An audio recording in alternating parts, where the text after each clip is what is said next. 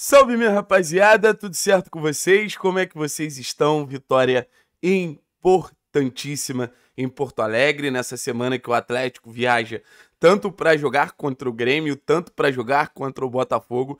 A gente começa a semana de jogos, né? Semana obviamente já tá na sua metade, mas a gente começa a semana de jogos com uma vitória inesperada, mas muito merecida dentro do contexto da partida. O Atlético consegue se impor e a gente vai falar sobre essa imposição que o Atlético teve no jogo contra o Grêmio durante basicamente os 90 minutos e volta a estar numa posição mais confortável ali nessa briga por Libertadores. Agora a gente já faz as contas é, de maneira muito mais tranquilo, podemos dizer assim. Faltam quatro vitórias, faltam cinco vitórias porque vem uma vitória inesperada, uma vitória que a gente não contava, uma vitória que facilita a nossa missão de estar na principal competição de clubes da América do Sul em 2024, no ano do nosso centenário, que a gente sabe que é o último objetivo da temporada do Atlético. E uma vitória muito comemorada, uma vitória muito festejada,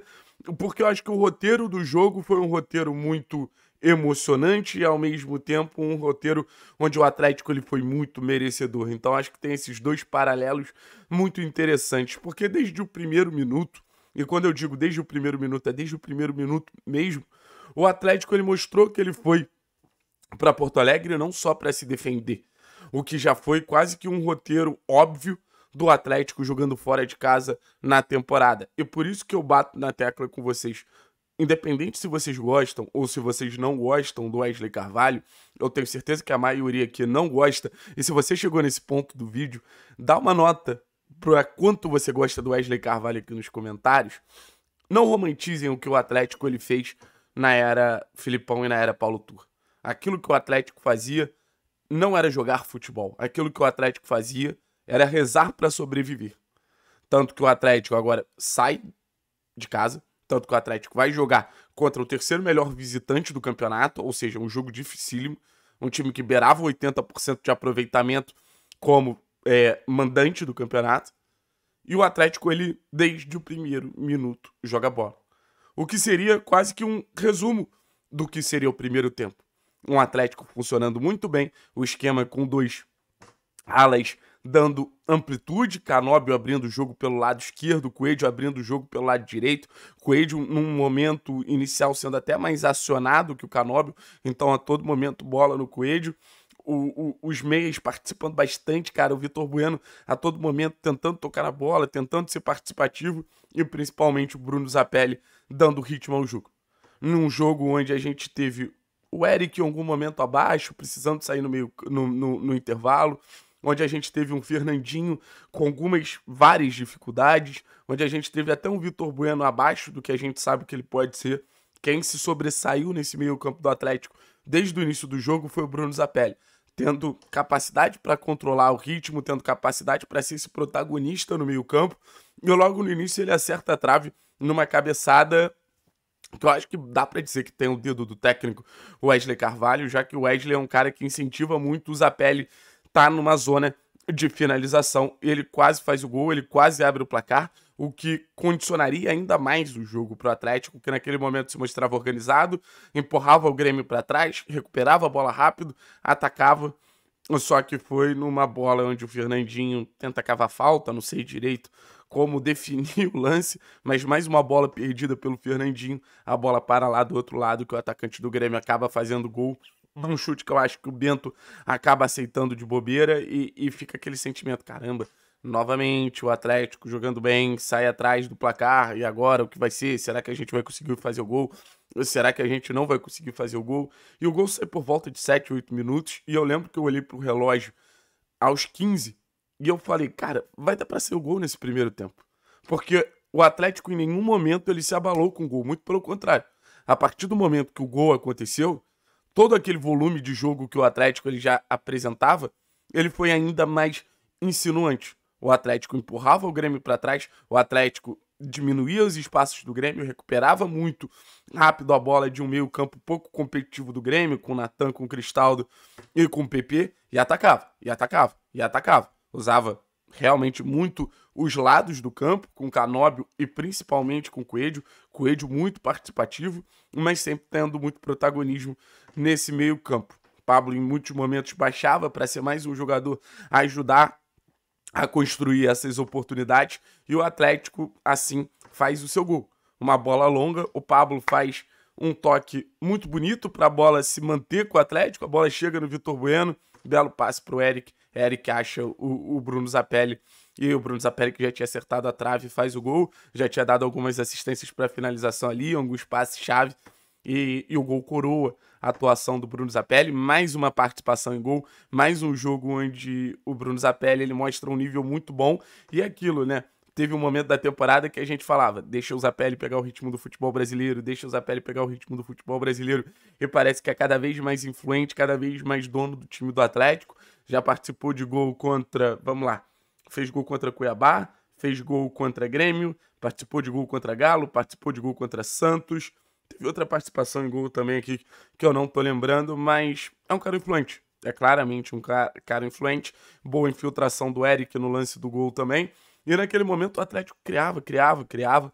O Grêmio estava encurralado. O Atlético tem mais de 10 finalizações no primeiro tempo. O Gabriel Grando faz uma bela defesa num chute do Canóbio, que poderia já ter virado o jogo no primeiro tempo, mas a gente sabia que o Atlético de alguma maneira lutava contra o relógio, já que o espaço que o Grêmio tinha, a falta de competitividade do Grêmio no primeiro tempo, de alguma maneira seria arrumada pelo Renato Gaúcho, que o Renato constataria o óbvio, tem muito espaço para o Atlético e, e, e, fecharia os espaços, né? E é isso que o Renato faz na mudança de tempo, né? O Renato muda principalmente os pontas, bota o Galdino mais competitivo, bota o Ferreira que voltava mais para ajudar, gerava mais trabalho ali para o Coelho e o Grêmio ele começa e tem 20 minutos bons. Só que durante esses 20 minutos bons do Grêmio, o Atlético ele também não é um alvo fácil. Óbvio, o Grêmio teve chances para fazer gols, o Grêmio teve chances para realmente entrar na frente do placar. Desde o primeiro tempo, numa chance que o Soares sai cara a cara com o Bento e o Bento faz uma defesa absurda, que naquele momento seria o 2 a 0 e o Bento ele mantém o Atlético no jogo. Eu venho criticando muito o Bento pelos gols sofridos, acho realmente que são é, vários gols assim que o Atlético poderia evitar de ter sofrido mesmo, mas a defesa que o Bento faz é muito, muito, muito importante. Uma das principais defesas do campeonato, assim, porque o Bento nada mais, nada menos cresce com um, frente a frente a Luizito Soares. E no segundo tempo tem chance com o Ferreira, no segundo tempo tem algumas oportunidades que o Esquivel tira, que o Coelho trava. Só que o Atlético se mantinha vivo. O Atlético era atacado, mas saía, o Atlético era atacado, mas também resistia, o Atlético era atacado, mas se mantinha vivo no jogo. Eu falo muito de um Atlético que precisa saber passar turbulências. E o Atlético soube passar a turbulência desses 20, 25 minutos do segundo tempo e volta a ter o controle da partida. É, acho que a entrada do Gumur é fundamental para que o Atlético ele consiga se impor mais. O Alex Santana entra, logo toma o cartão amarelo e tem muita dificuldade para ser combativo, para fazer um papel de jogo sem bola que o Eric vinha fazendo muito bem. Então, o Fernandinho já estava no ritmo abaixo. Você tem o Alex nessa, nesse cenário de pouca competitividade. Então, a entrada do Gumura foi muito importante para o Atlético se manter é, com capacidade de disputar no meio-campo. Não um Atlético que via o Grêmio tocar bola, não um Atlético que via o Grêmio girar de um lado para o outro. E a partir disso, o Atlético começou a ficar com a bola também. O Atlético começou a ver o Gumura participar mais, o Alex Santana participar mais, Canóbio, Esquivel. O Esquivel teve um crescimento muito legal no segundo tempo. O Coelho também sendo insinuante pelo aquele lado, num duelo individual muito legal com o Ferreirinha. Então, existia alguns momentos que o Grêmio atacava, mas também a partir dos 30 principalmente, o Atlético ficava mais com a bola, girava para um lado, girava para o outro, tentava trocar passes numa zona central para finalizar e fazer o gol da vitória, né? Porque eu acho que durante o jogo inteiro o Atlético ele teve essa sensação que ele poderia ganhar. Em nenhum momento pareceu um jogo perdido para o Atlético, em nenhum momento pareceu um jogo que, que, que seria insuficiente para o time. E tentava pelo lado direito, tentava pelo lado esquerdo, sofria algumas faltas, já que o Grêmio também mostrava um certo cansaço, então, conforme o jogo ele vai ficando mais desgastado, o número de faltas ia crescendo. Na primeira, o Lucas Esquivel, ele bate na barreira, na segunda, cruza de maneira muito certeira o Kaique Rocha, que tinha entrado até para dar mais liberdade ao Lucas Esquivel, né? Ele, ele bota a bola pro gol, o Atlético acaba ganhando o jogo em um jogo de Assim, muita coisa aconteceu. Foi um bom jogo de Campeonato Brasileiro. O Grêmio atacou, o Atlético atacou, o Grêmio teve suas oportunidades, o Atlético teve suas oportunidades. Mas acho que, de maneira geral, em relação à proposta, que era ter a bola, afundar o adversário, girar de um lado, girar para o outro, ter paciência, saber o timing de atacar pela esquerda, saber o timing de atacar pela direita, finalizar de média a longa distância, tentar botar essa bola dentro da área, chegar ao gol de adversário com perigo. Teve gol anulado do Pablo, teve uma trivialaça do Coelho que, que a bola acabou passando muito perto. Eu acho que na, nessa questão como um todo, acho que o Atlético conseguiu se impor e conseguiu ser superior ao Grêmio. Eu quero chamar atenção também, porque eu acho que um cara foi muito importante para o jogo acontecer, que foi o Bruno Zapelli. Eu acho que o Atlético ele foi muito melhor que o Grêmio em algum momento do jogo, porque a bola batia para o Zapelli, tinha sequência, a bola batia no Zapelli e, e, e as coisas aconteciam. Quando a gente, por exemplo, viu Cristaldo e Natan longe de fazer um bom jogo. Então acho que muito desse domínio, dessa imposição, dessa capacidade de desequilibrar o jogo mesmo passou por um, uma grande noite do Zapelli. Vou fazer um vídeo exaltando o Zapelli porque realmente está merecendo e, e, é um camisa 10 de peso, né? Um camisa 10 criativo, um camisa 10 de, de, de bastante construção. Eu quero elogiar e eu vou elogiar em outro vídeo a partida de Carnob e Coelho, os dois se doaram muito como esses alas. Eu acho que o esquema do Atlético é um esquema muito certeiro, porque você junta muita gente num, num, num espaço próximo, então isso acaba facilitando a construção de jogadas, e é esse jogo que o Atlético quer ter, de posse de bola, de toque para um lado, toque para o outro, mas quer ter esse jogo de posse de bola. É... Deixa eu ver se eu lembro de outro detalhe. Defensivamente, achei o Atlético tendo uma estabilidade muito maior que nos outros jogos, apesar do Atlético em algum momento ter cedido alguns contra-ataques, mas eu acho que é um efeito colateral de uma postura um pouco mais agressiva. Quanto mais você ataca, mais você também deixa espaço, mas jogo muito bom do Esquivel, um jogo bem bom do Kaká, jogo excelente do Thiago Heleno, sabe? Então, defensivamente, acho que o Atlético teve um jogo muito bom individualmente. O Atlético já teve jogos bons coletivos, é, defensivos e individualmente uma falha ou outra acabava acontecendo. Acho que esse jogo foi um jogo muito bom individualmente. Acho que também fica nítido que o Atlético ele tem algumas brechas no elenco que são extremamente chamativas. As substituições no segundo tempo, o time ele caiu muito de qualidade, apesar de buscar a vitória na reta final. É... Acho que é isso, rapaziada. Não sei se eu tô esquecendo de alguma coisa do jogo muito animado, muito feliz, sabendo que a gente volta a tá numa pontuação expressiva. O Atlético a dois pontos do vice-líder do campeonato. Eu sei que o Bragantino ainda joga, mas querendo ou não, uma pontuação que volta a passar uma certa tranquilidade. Parecia que o torcedor do Atlético estava vendo a Libertadores ficar muito longe e o Atlético se reaproxima dessa vaga para a Libertadores. O Atlético é, reencosta nessa disputa pela, por essa vaga na Libertadores, que eu acho que tem tudo para ser do Atlético. Se o Atlético jogar como jogou contra o Bragantino, se o Atlético jogar como jogou contra o Grêmio, repito, o Atlético estará na Libertadores de 2024. O Atlético eu vou até abrir uma parada aqui para passar para vocês ou eu deixo para outro vídeo. Talvez eu vou deixar para outro vídeo para passar o top 5 aqui. Mas o Atlético ele vive um bom momento no campeonato, o Atlético joga um bom futebol, o Atlético tem projeção de crescimento, tem ainda a possibilidade de volta do Christian. Então, assim, acho que sobreviver ao jogo contra o Botafogo é muito, muito, muito importante, porque a partir dali são dois jogos em casa na Arena Baixada, contra a América e contra São Paulo. É, você pode ter o Christian novamente, você vai ter sua equipe com mais moral, ao lado do torcedor. Então, imagina, a gente empata no Rio de Janeiro e ganha de América e São Paulo. São mais sete pontos aí, que basicamente botam o Atlético numa posição de 51, 52. E, cara, é uma posição que, acho que com 59, 60 você vai estar na Libertadores.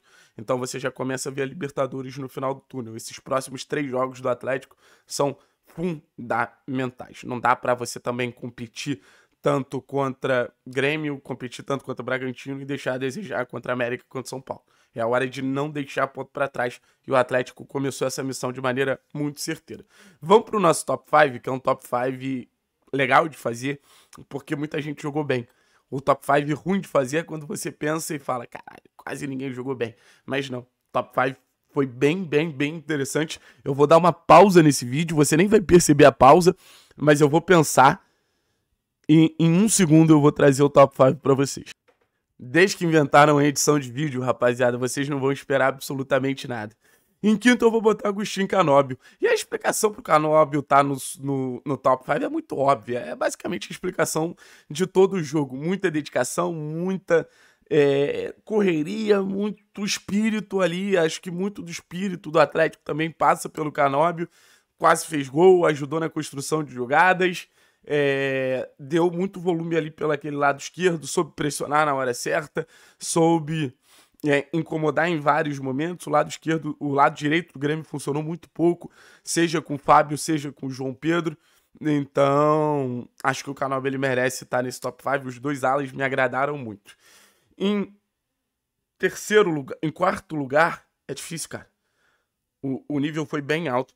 Em quarto lugar, eu vou botar o Lucas Esquivel, cara. Pela assistência, mas pelo jogo como um todo. Foi um jogo muito equilibrado do Esquivel, fazendo bons desarmes, fazendo boas antecipa antecipações, sabendo subir na hora certa, é, fazendo uma duplinha com o Canobi ali em vários momentos, sabendo ser um lateral mais construtor, tendo calma no momento onde o Atlético tem uma queda de nível técnico, mas a bola batia nele e, e, e tinha sequência, então vou botar o Lucas Esquivel nessa, nessa posição.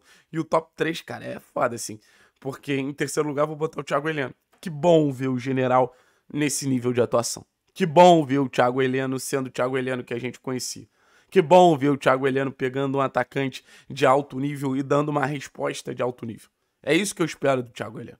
Ser um zagueiro foda. E o Thiago Heleno é um zagueiro muito, muito, muito bom. Atuação grande de antecipações travadas, um jogo muito direto ali com o Soares, dá uma esperança da gente ter o nosso general de volta. Óbvio, tem o Kaká, tem o Kaique aparecendo muito bem, acho que são dois jovens que tem que ficar para a temporada que vem, mas Thiago Heleno sempre vai ser Thiago Heleno. Ele fez uma partidaça. Em segundo, Tommy Coelho, cara. Tommy Coelho. Não tem como não botar o Coelho. O que o Coelho competiu, o que o Coelho disputou, o que o Coelho jogou de futebol, foi sacanagem. Foi verdadeira sacanagem. Jogou muita bola atacando, indo para cima, oferecendo drible, oferecendo um contra um, criando oportunidade. Mas também foi um Coelho muito, muito útil no momento defensivo, travada dentro da área, pressionando muito bem. É numa pressão do Coelho que sai a, a falta, tá ligado? Que, que rola o gol da vitória. Então, assim, acho que o Coelho ele se encontrou como ala. Acho que depois de muito tempo a gente encontrou a verdadeira posição de Coelho de Canópio. Não necessariamente pontas, mas alas. E para terminar, Bruno Zapelli. O, o, encanto, o talento, o domínio do meio campo, a capacidade de estar ritmo. Não tem o que falar do Bruno Zapelli. Nível, cara, alto demais. Alto demais. Muito legal acompanhar um jogador com tanto talento. Muito legal acompanhar um jogador com tanta capacidade de desequilíbrio, meu. O talento do Bruno Zapelli é muito difícil de achar no futebol brasileiro. Então boto nosso menino Zapa aí como melhor da partida para mim. Deixa aqui seu top 5, tá? Se você chegou nesse momento, quase 18 minutos de vídeo, deixa aqui seu top 5 que eu quero ouvir você. Beleza, pessoal? Tamo junto. É nóis. Valeu, valeu, valeu, valeu, valeu e que seja a remontada da temporada.